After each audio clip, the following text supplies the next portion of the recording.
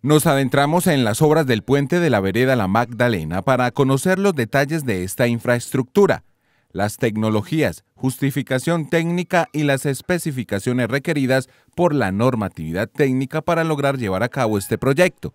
Esta de acá es una bocina por donde va un ducto del postensado. Cada, cada ducto de esos lleva 19 torones. ¿Qué son los torones? Los torones son unos cables que van de costado a costado. Cada viga de estas lleva tres ductos. Cada ducto lleva de a 19 torones. ¿Listo? Que van de lado a lado, que es el postensado. Como puede ver, ya la viga está vaciada, lista para el descenso. Se, se hace el descenso con unos gatos hidráulicos. Acá a este costado vamos a ver la torre de lanzado. La torre de lanzado se usa para lanzar esta cimbra, la estructura donde estamos parados. Esto se llama cimbra. Listo, que es la estructura para armar las formaletas, para vaciar las vigas, las vigas principales que van en concreto. La torre de lanzado tiene un aproximado de, de 8 metros. Que es esta torre que vemos acá. Acá vemos los muchachos haciendo el proceso del armado de la, de la cimbra para la otra viga principal que va en concreto.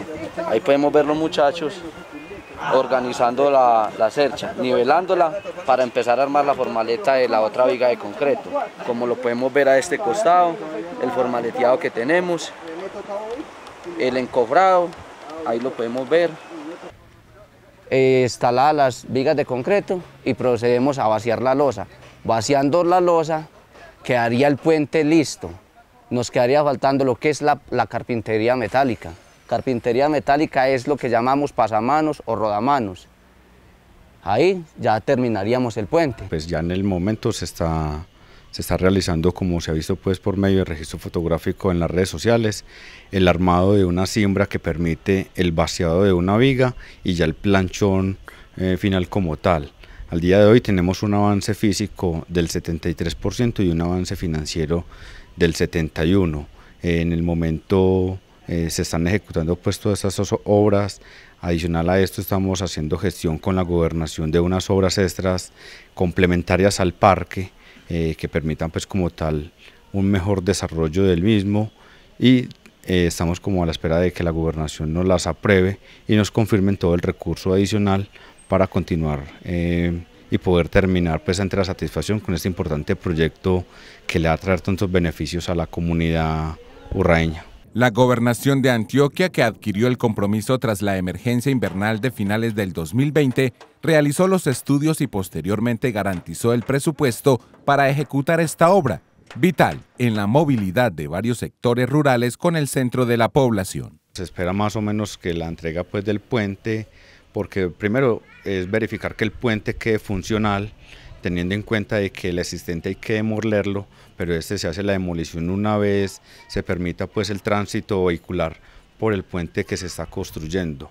Una vez que tengamos pues ya la movilidad, ya se harían pues obras complementarias eh, que están pues en el contrato de obra y se espera más o menos un tiempo de pues una fecha de ejecución, de determinación eh, más o menos para, para diciembre, finales de noviembre, inicios de diciembre la entrega final. La distancia entre el río y la estructura son de 5 metros con 20. A la parte rozante y la viga en la parte de abajo. Son 5 con 20. O sea que los niveles máximos de este río son máximo 2 metros de altura. Quedaríamos con 3 metros de distancia al nivel rasante del agua. Los avances actuales plantean el desarrollo de más de un 70%, con la expectativa de obras complementarias que se tienen en proyección para los entornos de esta estructura que tendrá una longitud de 79 metros y de alto de más de 5,5 metros desde el nivel del río hasta la base del puente.